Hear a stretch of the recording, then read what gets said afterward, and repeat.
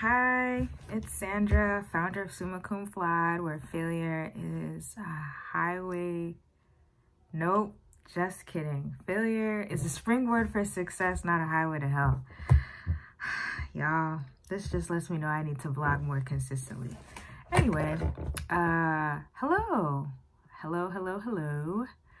Um, this is another update video. Actually, I, I think the the spirit behind this video is that it's a fail vlog, but I kind of wanted to make it an update video as well.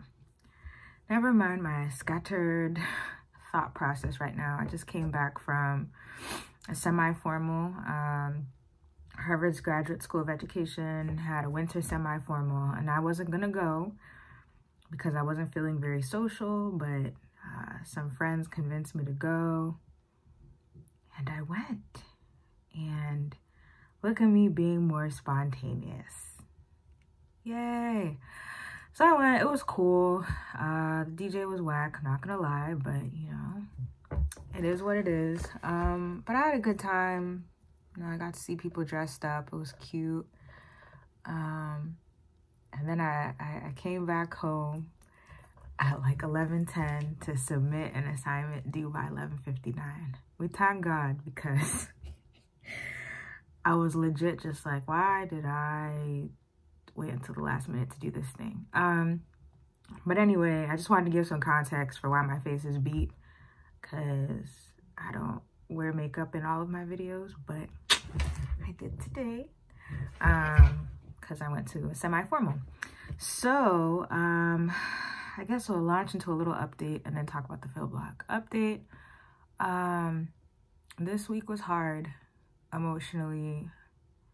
There was just like a lot going on, but it was also really good um, in the sense that I got to rest a lot. So it's February break here in Massachusetts, which means that I think most public schools have this week off. So for me, that means that I didn't have to go to practicum. Um, so practicum is this like, I have to be at uh, my school site twice a week for like eight-ish hours. And on the, the days that I go to practicum, I then have class after. So like I have like 12, 13 hour long days or even longer because I'll like wake up by five or so, um, sometimes earlier, leave the house by like 6.30, get to my site by 7.30 or so. And then, um, and then I have class like around three, four, whatever, five, up until like seven or eight o'clock. So it's just a lot. But I didn't have to go to practicum this week, so I just had to worry about class. Like literally just had to attend class, do assignments, and this was just a really good week of me reading my word, um, journaling, listening to a lot of like sermons and messages on YouTube, um, reading. Oh my gosh, I got to read and it was so wonderful. Anybody who knows me knows that I'm a self-proclaimed bibliophile. I love to read. Reading makes me so happy and it's like food for my brain, literally. Like when I read, I, sounds so corny, but I feel myself getting smarter. Like I literally feel like I grow, right? And my thoughts get clearer and I'm able to express myself better. And so I love to read and I got to do that um, this week and just chill. I realized that I like to be productive, but I don't like to be like bouncing from one thing to the next. Uh, I like to take my time when I do things. I don't like to rush into things. I don't like having a packed schedule. Um, and I just like to rest. And this week has allowed me to do that. But even then, like emotionally, it was just hard and draining and kind of crappy. Um, but I'm working through that. Um, so fail vlog.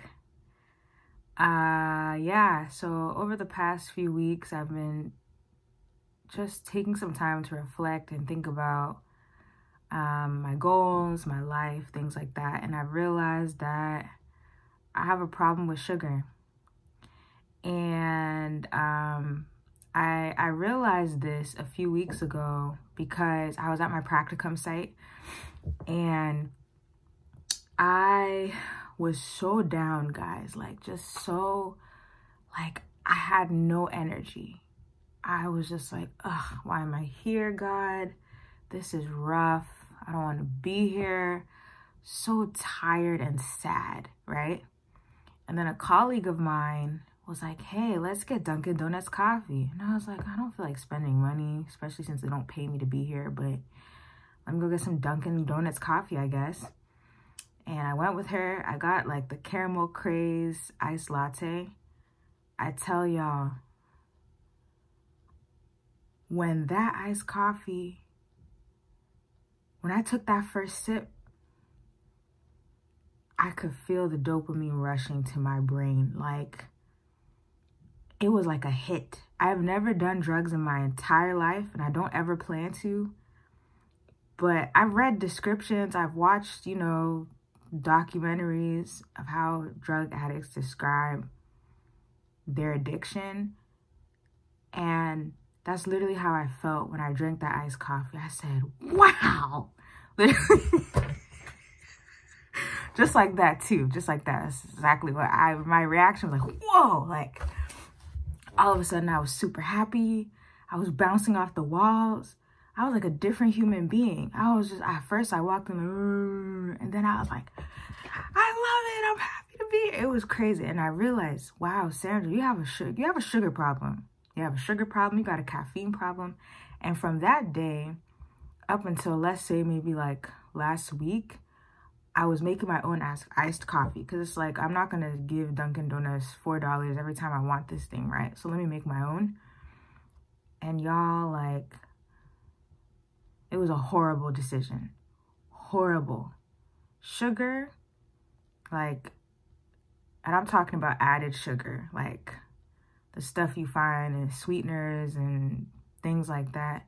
Sugar is poison. I'm actually convinced. It's poison, it's a drug um, I've noticed the changes as I've increased my sugar consumption, just like very strange side effects. And it just made me realize I'm not doing my body a service by engaging in this sugar consumption. And I, in fact, I owe it to myself to break this dependency. So I've been reflecting on different ways to do that. And thankfully, we are coming upon a time, um, a very spiritually significant, significant, spiritually significant time um, called Lent. And I'm not going to go into the history of Lent and blah, blah, blah, Lent. If you know what it is, you know what it is. If you don't, you have the same Google I do. Please go and Google it. But um, uh, for Lent, I would like to give up sugar like all added sugar. I'm still gonna consume fruit, I guess, in some form, maybe. Um, but all this added sugar stuff, this iced coffee stuff, this like sweets, candy, chocolates. I can't have it anymore. Not for the next 46 days. Um, and I realized by virtue of saying that, I, I, I put a target on my back. So now all the temptation, let just let's just watch now that I've decided I'm not eating added sugar, that's when people want to start giving me candy, chocolate, everything. But guess what? The devil is a liar. I'm not going to fall to temptation, but pray for your girl. Um, I'm considering, you know, some other things too that I would like to alter about my diet, but that'll be another video for another day. But I just wanted to share this with y'all because it's been a while since I've done a fail vlog. And it's not to say that I haven't had failures. I've had a ton um, I feel like anyway. Um, but it's just been hard trying to like capture those things in a digestible YouTube video. But this one I felt was very easy. I have a problem with sugar and I'm gonna figure out a way to break it. So I want to encourage anybody out there who is struggling with a, a dependency on sugar like I am we're going to break this thing together. If you would like to join me, please go ahead and join me. Um, I don't know if I'm going to do like a daily vlog or something to keep myself accountable or to just journey, just document the, the journey or the process. I may do that, we'll see. Um, but yeah, join me. It's never too late. We owe it to ourselves to treat our bodies with the respect that they deserve and to be the best possible versions of ourselves that we can be. And that includes stepping away from things that have mastery over us, things that um, cause us to make bad decisions. So yeah, that's what I'm gonna do. Um, I'm excited about it, but I also realize it's it's a serious undertaking because I really like sugar. Like I like it so much. So, like I said, pray for your girl. Um, I hope you all have a wonderful day, afternoon, evening, wherever you are around the world.